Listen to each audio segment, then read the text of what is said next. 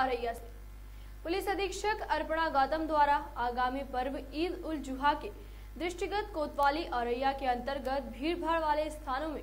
सुभाष चौराहा से संजय गेट होते हुए जैसे चौराहे की तरफ़ भारी पुलिस बल के साथ आमजन मानस में सुरक्षा की भावना जागृत करने हेतु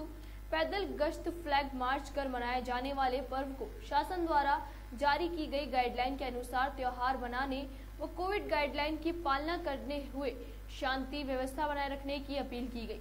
सड़क पर अतिक्रमण करने वाले दुकानदारों को अतिक्रमण न करने की हिदायत दी गई। इस दौरान क्षेत्र अधिकारी सदर सुरेंद्र नाथ सिंह, पीआरओ पुलिस अधीक्षक औरैया राजदेव प्रजापति व कोतवाली प्रभारी निरीक्षक औरैया संजय कुमार पांडे, यातायात प्रभारी औरैया देवेंद्र कुमार शर्मा सहित अन्य पुलिस बल मौजूद रहा।